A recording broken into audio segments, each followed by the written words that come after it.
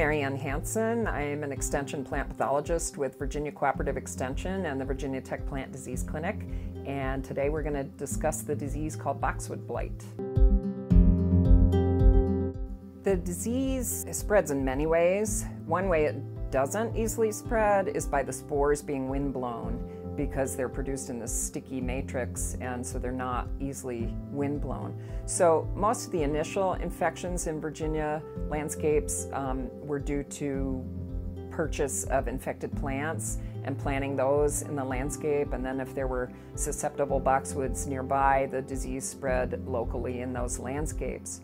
But now that we have quite a few areas where the disease is found, the disease is spreading secondarily by other means.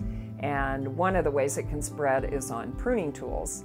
And of course, boxwood is a plant that is often grown in hedges, or even if it's not, it's often trimmed into certain shapes.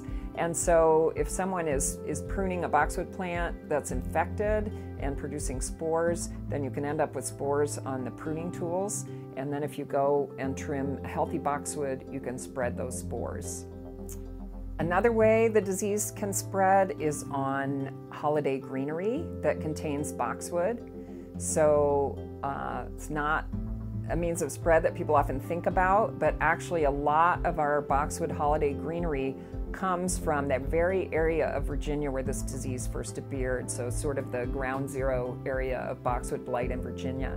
And that area actually produces a lot of the boxwood greenery that gets shipped all up the East Coast. So this uh, greenery goes to more places than Virginia. And so it's very important to, um, if you're going to buy holiday greenery that has boxwood in it, make sure you inspect that greenery for leaf spots or black streaks on the stem, symptoms of boxwood blight.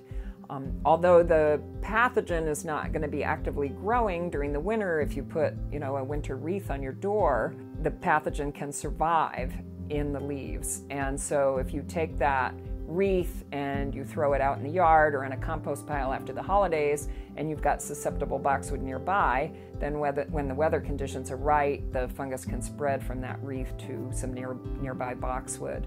So you definitely don't want to throw your wreaths and holiday greenery on the compost pile.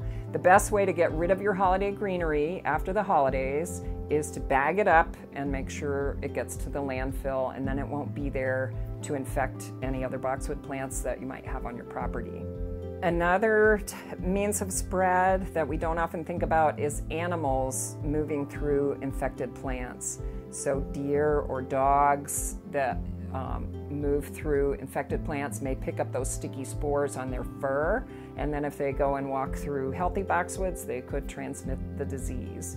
And by the same token, people can transmit the disease if they pick up those spores on their clothing. So if you're working in infected plants, you need to make sure to change your clothing after you work in those plants and, and wash them in hot water and wear something else before you go and work in healthy boxwoods.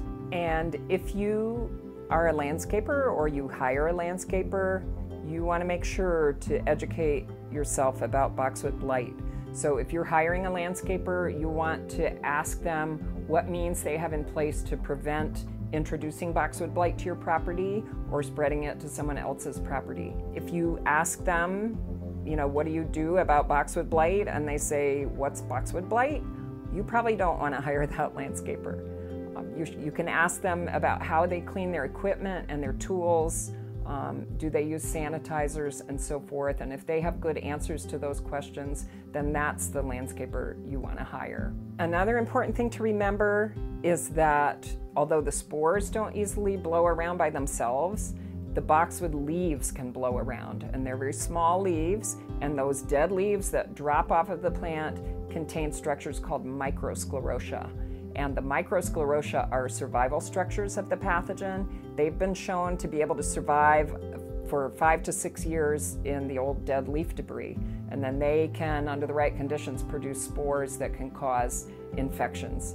So, preventing the spread of dead leaves is really important, and it's important to remember that, that leaf blowers and lawnmowers can easily spread those leaves. So you want to make sure that anybody who's using that equipment on your property sanitizes their equipment or has not been working in a landscape where there are infected boxwoods.